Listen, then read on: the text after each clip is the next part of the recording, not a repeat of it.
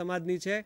અને આપણો જે ખેડ બ્રહ્માની બાજુના એક ગામડાનો આદિવાસી યુવક પણ આ વખતે યુપીએસસી ક્લિયર કરી છે અને આઠમો રેન્ક લાવ્યો છે. તો હવે ગામડાઓનું કે શહેરનું એવું કંઈ રહ્યું નથી. પણ એક ચોક્કસ વાત એ છે કે આપણી પાસે મટીરિયલ તો સારું હોવું જોઈએ. અને એના માટે અધ્યાપકો અને લાઇબ્રેરી આ બે વસ્તુ બહુ જ મહત્ત્વની છે. મેં હમણાં વાત કરી એ પ્રકારના પુસ્તકો જો આપ લાઇબ્રેરીમાં વસાવો કોલેજની લાઇબ્રેરીમાં અને કોલેજમાં જ એવી ગોઠવણ એ વિદ્યાર્થીઓને કરી આપો. તો હજી તો એ લોકોનું ટીવાય પૂર્ણ થશે, પછી એ લોકોને પરીક્ષા આપવાની છે. કારણ કે આમાં પ્રથમ શરત એ છે કે તમે ગ્રેજ્યુએટ હોવા જરૂરી છે.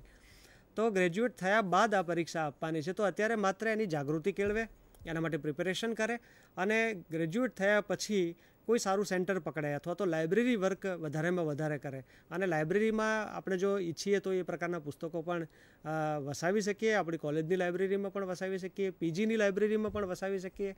કારણ કે આના જે પેપર્સ હોય છે એ લગભગ ગ્રેજ્યુએટ અને પોસ્ટ ગ્રેજ્યુએટ કક્ષાના હોય છે. તો એ તો આપણે ત્યાં દરેક જગ્યાએ મળતા હોય છે.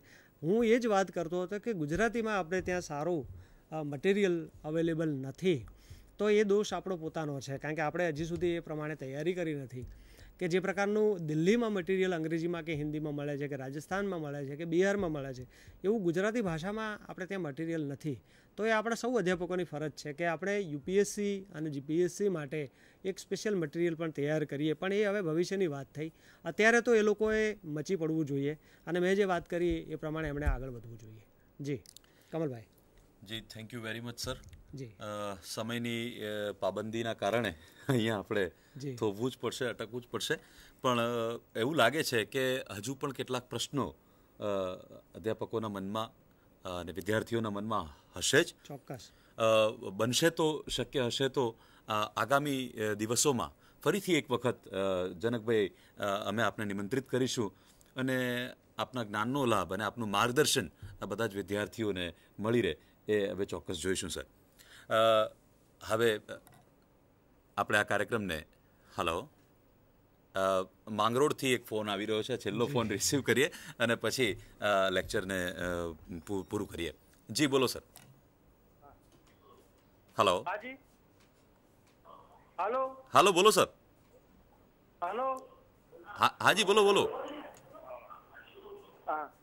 આપે જે માહિતી આપી હાજી. સેમિનાર કરી શકાય છે કોલેજમાં. જી. તો એ માટે અમારે શું કાર્યવાહી કરવાની છે સ્પીપામાં તમે સ્પીપાને એક સિમ્પલ લેટર લખી શકો છો.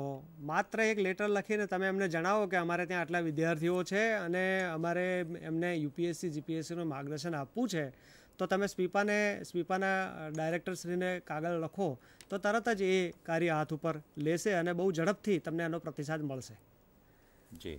થેન્ક યુ વેરી મચ અને મિત્રો, ફરીથી એકવાર યાદ કરાવી દઉં કે આ કાર્યક્રમ આપણા સૌનો કાર્યક્રમ છે.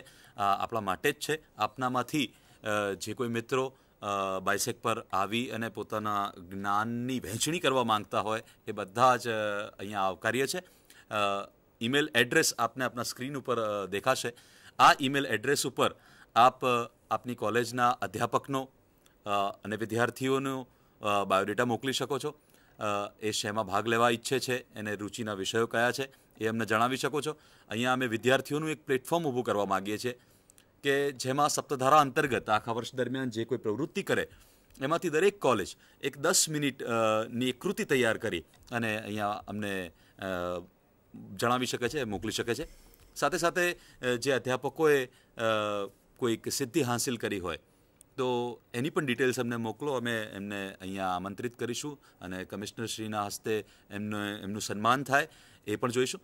તો આશા રાખીએ છીએ કે આપ આ સેવાનો લાભ, આ સુવિધાનો લાભ લેતા રહેશો ત્રીસમી તારીખ સુધી અને ત્રીસમી તારીખ પછી આખા વર્ષ માટે જે તમામ વિષયો, ચોવીસ જેટલા વિષયોમાં વ્યાખ્યાનો શરૂ કરવા અમે જઈ રહ્યા છીએ, એનો પણ આપના વિદ્યાર્થીઓને લાભ અપાવતા રહેશો. થેન્ક યુ વેરી મચ ધન્યવાદ.